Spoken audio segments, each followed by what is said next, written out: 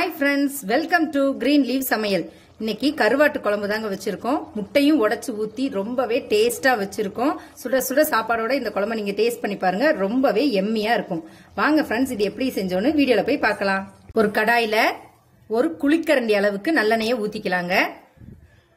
நல்லெண்ணெய் நல்லா சூடாகட்டும். ஒரு ஸ்பூன் வெந்தயம். சின்ன ஸ்பூன் தான் போட்டிருக்கேன். பெருசா இருந்தா அரை ஸ்பூன் போட்டுக்கோங்க. கடுகு ஒரு அரை ஸ்பூன் கடுகு உளுந்து சேர்த்து போட்டிருக்கோம். இது நல்லா பொரியட்டும். கடுகு உளுந்து வெந்தயம் பொரிஞ்சிருச்சு. இப்ப வந்து பச்சை மிளகா ஒன்றும் கொஞ்சமா கருவேப்பிலையும் போடுறேன்.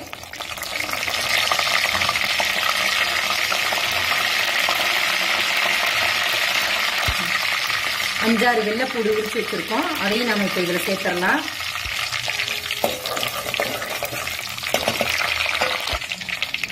ஒரு பதினஞ்சு சின்ன வெங்காயத்தை பொடிசா கட் பண்ணி வச்சிருக்கேன். அதை இப்ப நம்ம இதுல சேர்த்துடலாம். சேர்த்து நல்லா வதக்கிடலாம்.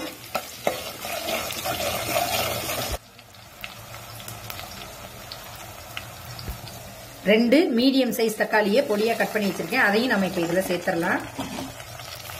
சேர்த்து நல்லா வதக்கிடலாம்.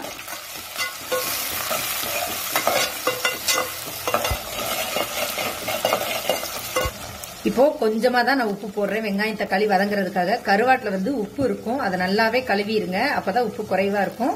ரொம்ப உப்பு இருக்கிற மாதிரி இருந்தா குழம்புக்கு கம்மியா போடுங்க. நான் லைட்டா தான் போடுறேன். ஒரு ஸ்பூன் மிளகாய்த்தூள் ஒரு ஸ்பூன் மல்லித்தூள். ரெண்டு ஸ்பூன் குழம்பு மிளகாய்த்தூள் இது எல்லாமே சேர்த்து நம்ம நல்லா இதை கலந்து விட்டுறலாம்.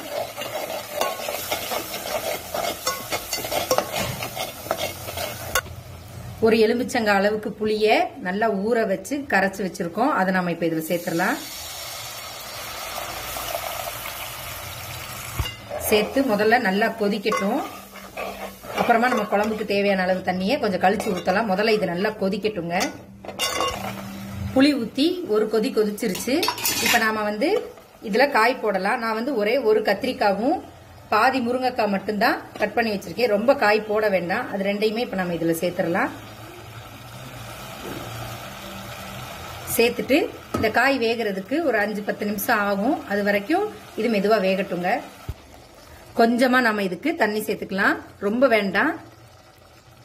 ஒரு அரை டம்ளர் ஒரு டம்ளர் அளவு மட்டுமே சேர்த்துக்கோங்க. ரொம்ப தண்ணி ஊற்றாதீங்க இது நல்லா வேகட்டும். பாருங்க காய் வந்து முக்கால் அளவுக்கு வெந்துருச்சு. ஒரு ரெண்டு ஸ்பூன் அளவுக்கு மட்டும் அரைச்ச தேங்காய் விழுது நான் சேர்க்குறேன். தேங்காயை நல்லா நைஸாக அரைச்சி ரொம்ப வேண்டாம் கம்மியாக தான் போட்டிருக்கேன். ரெண்டு ஸ்பூன் மட்டும்தான் போட்டிருக்கேன். போட்டு இதுவும் நல்லா சேர்ந்து ஒரு கொதி கொதிக்கட்டுங்க. தேங்காய் போட்டு கொதிச்சிருச்சுங்க. இப்போ வந்து நம்ம கழுவி வச்சிருக்கிற கருவாடை சேர்க்கலாம். துண்டு கருவாடு தான் வாங்கி வச்சிருக்கோம். இது வந்து ஒரு நூறு கிராம் இருக்கும். நாங்கள் இப்போ இதை இதில் சேர்க்குறேன்.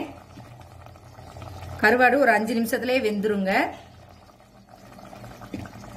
போட்டு நல்லா மூடி வச்சிருங்க. அது ஒரு ஃபைவ் மினிட்ஸ் நல்லா வேகட்டும். கருவாடு போட்டு நல்லா வெந்துருச்சு பாருங்க கருவாடு. இப்ப நம்ம இதுல முட்டைய உடச்சி ஊத்திக்கலாங்க. ஒரு ரெண்டு முட்டையை நாங்க இதுக்கு எடுத்து வச்சிருக்கேன்.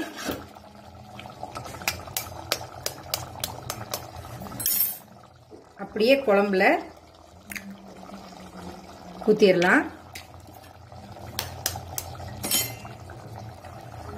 உங்களுக்கு எத்தனை முட்டை வேணுமோ நீங்கள் ஊற்றிக்கோங்க நான் ரெண்டு முட்டை தான் ஊற்றுறேன் இதை வந்து நம்ம கலக்கக்கூடாதுங்க இந்த முட்டை வந்து அப்படியே இந்த குழம்புல வேகணும்.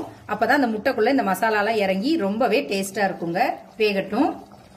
பாருங்க நம்ம உடச்சி ஊத்துன முட்டை வந்து அப்படியே வேகுது பாருங்க. இதை கரண்டிலாம் போட்டு கலக்கிற வேண்டாம். அப்படியே வேகட்டுங்க. ஒரு ஃபைவ் மினிட்ஸ் மட்டும் வேகட்டும்.